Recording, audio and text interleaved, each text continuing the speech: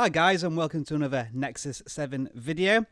This video is about a new software update that's coming out for the Android operating system and it's going to hit Nexus 7 devices either now or in the next couple of days. I'm still waiting for the update to arrive on my Nexus 7 but some people have already reported that they're getting it and there are a number of significant improvements to the operating system which we're going to go through and I'm using uh, the phonearena.com who've put together a nice little slideshow of all the new features and that is what we're going to look at. Uh, so if we look at uh, all the new options there are, uh, I'm going to go through about 15 different options and I'll quickly look at each one. The first one is uh, quite an interesting one in that the 4.2 operating system now has widgets on the lock screen. I'm not entirely sure how they're going to work. I don't know if they'll be custom widgets or you have to go into a special screen to set up widgets. Uh, you could possibly put uh, emails on your lock screen or a news website or something.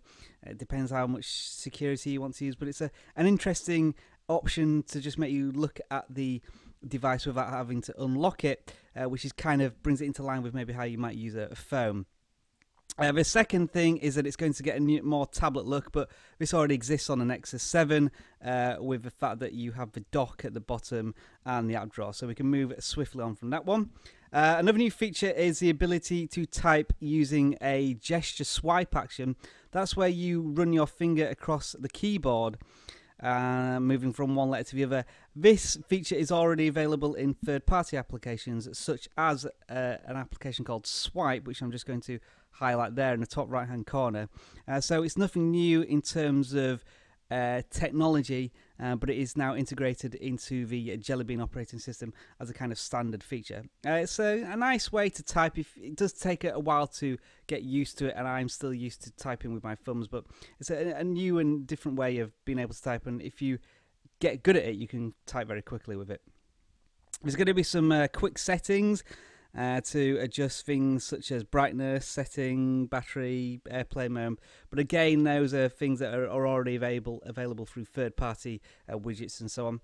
Uh, next thing is expandable notifications. Again, I think this has already been introduced in the Jelly Bean operating system uh, when we first got our Nexus 7s, in the fact that you could make uh, picture previews look bigger, bigger and uh, I'm sure you've seen many times on my battery widgets widgets sorry, the battery widget notification, where if I drag it down, it shows a graph of the uh, battery. Uh, so I don't think that's anything particularly new there. Looks as though there's going to be a, a, Gmail update, although I must admit I'm not entirely sure what this means. They've updated the text reflow. I think it means that the text is now going to be um, rescaled so that it fits properly. Uh, maybe you can use pinch to zoom. That's what it seems to look like here.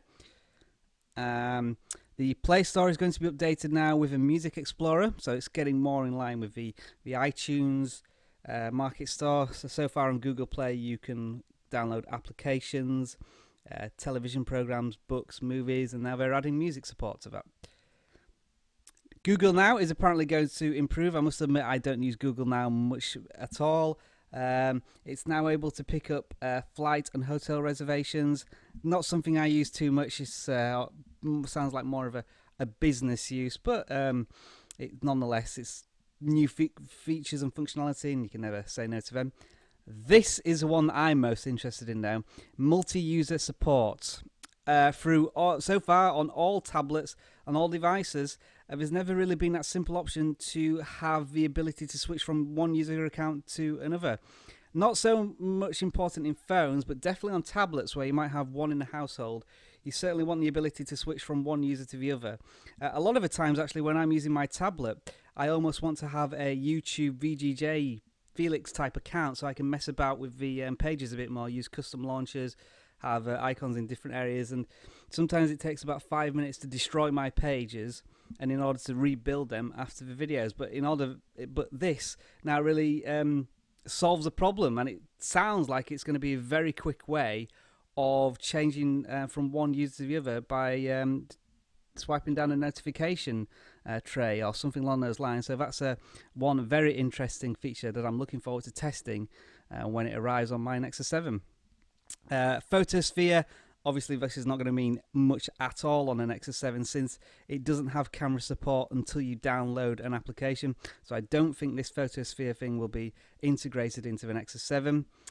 Uh, this one looks as if it's adding the ability to uh, transmit Wi-Fi from your device to a television that supports it um, by what it looks to be called Miracast. Again, I'm going out of my comfort zone here in what I actually know about this.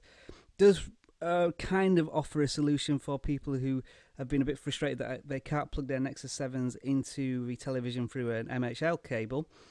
Um, but it's going to be limited to televisions that presumably can support this type of Wi-Fi direct uh, transfer. So it's a bit of an improvement, but unfortunately, I'm not going to be able to test it because I don't have a television that supports it. Uh, there's going to be a new clock app. Again, a bit superfluous since there are so many uh, different apps available anyway.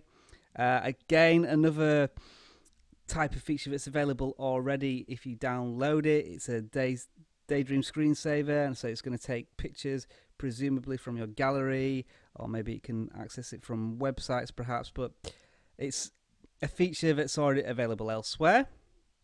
Uh, some accessibility improvements. Apparently, if you uh, triple tap, it's going to do some sort of uh, magnifying and capabilities, which will be interesting.